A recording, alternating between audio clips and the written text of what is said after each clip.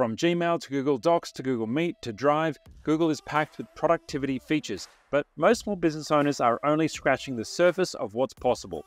I want to share with you some of my best tips to help you get the most out of Google Workspace so you can stay productive and get more done.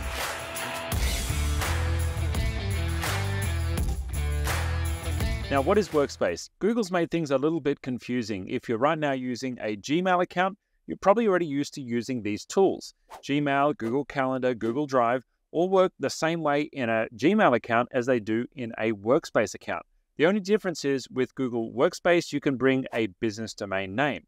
Now, Google have made it even more confusing by calling some of their consumer Gmail accounts Workspace, but we'll leave that story for another day.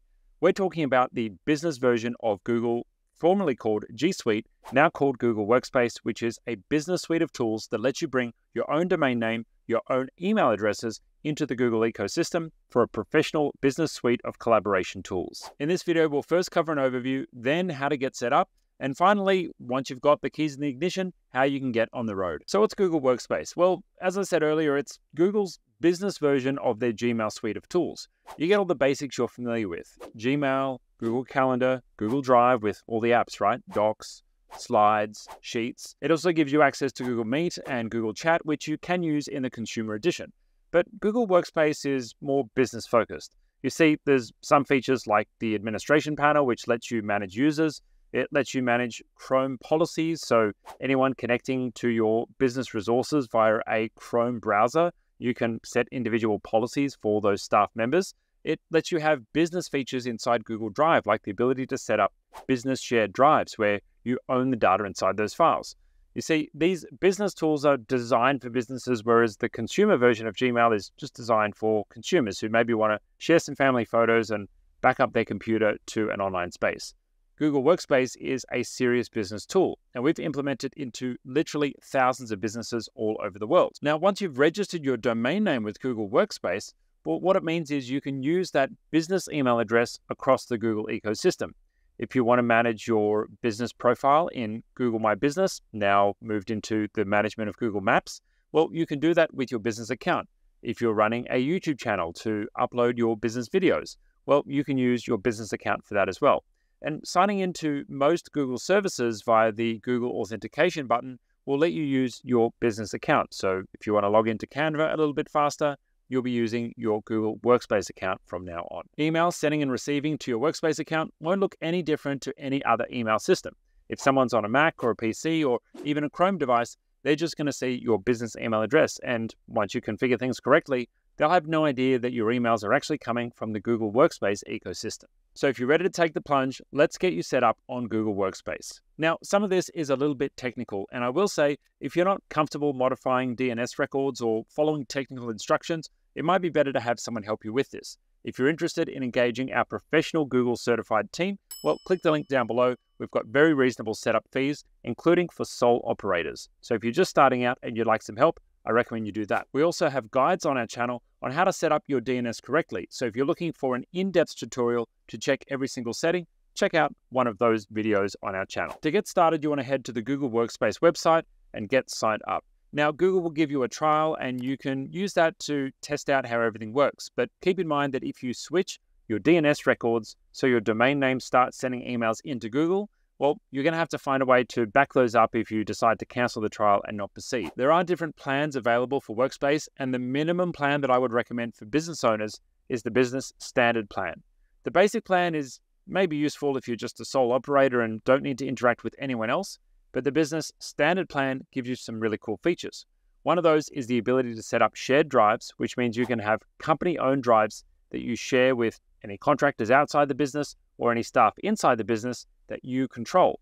Meaning that if someone else wants to delete a file, you have to give them permission to delete files. And that's very useful when you're working with a contractor or someone outside your business who may be creating files for you, but may not be as diligent as you at keeping tabs on which files need to be kept and which files need to be deleted. Second great feature that Business Standard has is the ability to record your meetings. If you're using Google Meet, you can hit the record button, and not only will Google transcribe those meetings for you, but it will keep a video recording of the whole meeting.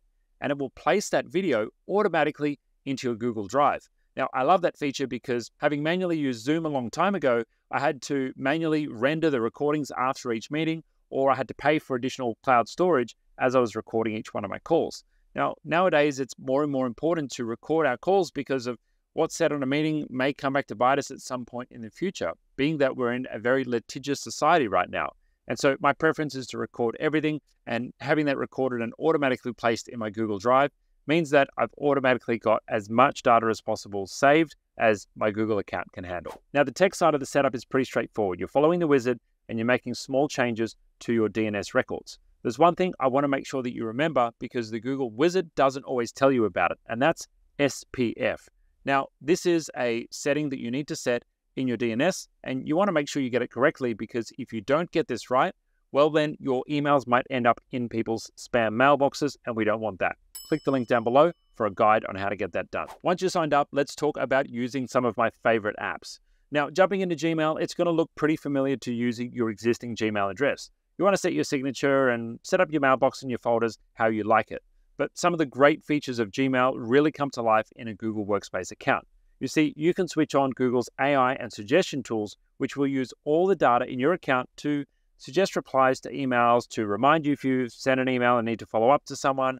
And it also gives you the ability to automatically have composition support added to that email as well. You can quickly reply or even have Google help write your emails for you, which is a feature that I love. We've got lots of videos on the channel with tips for Gmail. Make sure you check those out. Next up, let's talk about Drive. Now, when you first get started with Drive, it runs in the browser, but you want to make sure you download the Google Drive app to your computer.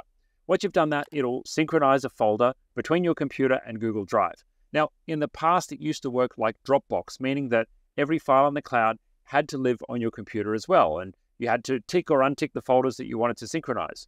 Well, Google Drive now works a lot smarter than that, and it will automatically store files locally on your computer that you need but files that you haven't used in a while, it'll remove them from your computer and just store them in the cloud. Now, if you go to open a file that's not currently downloaded, it'll automatically download it in the background, and then you'll be able to easily watch it when it's finished downloading. Now, what that means is that you have a seamless experience between your cloud based files and your local files that are living on your computer. It means that if you don't have much hard drive space, you're probably not going to fill it up with all of your files. And it means that you can safely back up all of your archival data into your Google Drive Online for safekeeping or retrieval at some point in the future. If you haven't yet made use of Google Docs, well, get ready to be impressed. Google Documents, spreadsheets, and even their slide presentations will allow you to edit in real time with your colleagues or with people outside your business as well. All you need to do is send them an invitation via a link or via an email address, and someone can collaborate with you on a document. Now, one of the things that I love about Google Drive is the ability to set up shared folders that are company owned. It means that if someone's outside my business and they want to share a file with me, if they place the file into the shared drive, they'll receive a prompt to change the ownership to my business. You see, there's a big problem that happens with Gmail when someone is working for you and they create a file in their Gmail account and share that file with you. Well, they remain the owner of that file. And what happens is quite often a contractor who's done work for you in years past will be cleaning up their Google Drive because they've run out of storage space they'll delete some files from their drive and then poof, they disappear from your access. And what that means is you may have a risk of losing business data. So, making sure that you set up shared drives inside your Google Drive, and you have to be on a business plan for this, it'll protect your data, making sure that you are the sole owner and the sole person who has the permission to delete those files. Check out some of our other videos on how to set up your Google Drive permissions. Now, I already mentioned Google Docs, but I want to highlight a few more cool features. In every document, there is a full revision history, which shows you every single change that's happened to each document. Now, what that means is at any point, you can go back in time and find every single keystroke that changed on that document. If you've ever worked on a document for a couple of hours and then had your computer crash and lost the file or lost the changes to a save, or you've been working on a file with someone else and they've overwritten your changes, well, this is an absolute godsend. Google is automatically saving every single change to every one of your documents, and there is an unlimited history on the number of revisions that Google will save to your Google documents. The other feature that I really love inside of Google Docs is the ability to suggest changes. It means that if you're working on a document with someone and you don't necessarily want them to change it, but you're open to their suggestions on what could be different, well, you can give them commenting access and the ability to switch to suggested changes mode. That lets them make some changes that you have the authority to approve or deny, and that's a great way of working with different people who need to collaborate on one document. Finally, we come to Google Meet, and this has become the standard for everything we do inside our Google account. Anytime we set a calendar event and we schedule a meeting with our colleagues, it automatically is going to populate a Google Meet link that we can click with one button and be straight into the meeting. I love that you can auto record and have that save into your Google Drive folder. It's one of my favorite features, but Google Meet also has a bunch of other features included like the ability to run a poll, run a Q&A session and even emoji react to whoever's talking on the screen. The ability to have live transcriptions even to different languages just blows my mind that it's even an option in 2023. But the other cool feature is being able to just transcribe every meeting and that means that you've got everything recorded from the history of everything that you've had in an online meeting. Google Workspace is a seriously powerful ecosystem, and you can see that for the most part, you don't really need an IT person to manage it. You can add and remove users yourself, you can set up your shared drives, and you can even share resources inside and outside your company without having to think too hard or rely on someone else to do things for you. But if you're looking for more support with your Workspace account, make sure you look around the channel and check out some of the other videos that we have in store because we've been helping customers for a number of decades now with Google Workspace, and we're the top Google partner across Australia and New Zealand for small business. If you're looking for technology, advice, and support on how to make sure you get your Google Workspace running as well as possible, you've come to the right place. Hit the like and subscribe, and I'll see you in the next one.